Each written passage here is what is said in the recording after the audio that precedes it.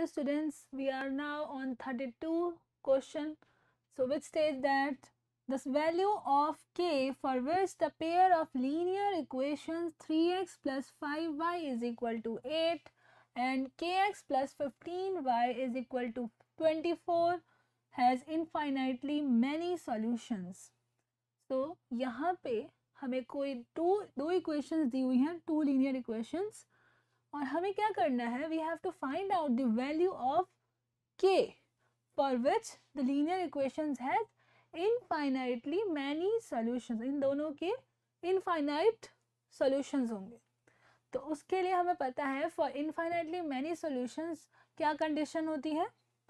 A one upon a two is equal to b one upon b two is equal to c one upon c two so so, यहाँ पे हमें two equations दी हैं।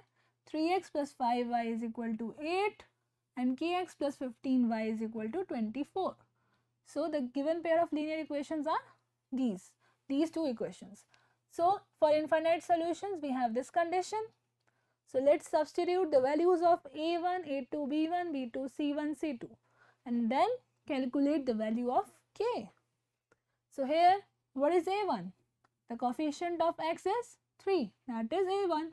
So that is 3 and what is a2?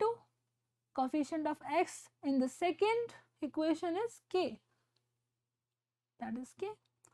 Now b1 is the coefficient of y for the first equation that is 5 and what is b2?